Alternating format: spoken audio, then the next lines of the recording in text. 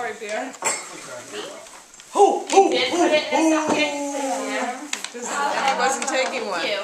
Ooh, what is that? Thank you very much. Pretty. Ooh,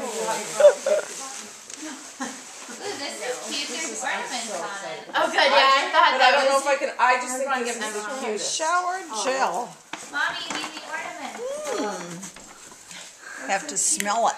Yeah, I think it smells good, I believe. Oh, good. You want to know what it is? I don't know what else is in there. I think there's like a perfume in there too. Can't put it off. My ornaments. I think oh you can pop the Oh, tops maybe. need this too. Santa's awesome. That's probably what is supposed to smell the best. Target and I are best friends, so Santa is high on my list right now.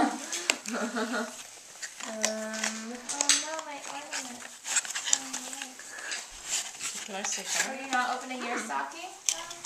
I am. Oh, oh, look at that. How Pretty. That goes in with the gold.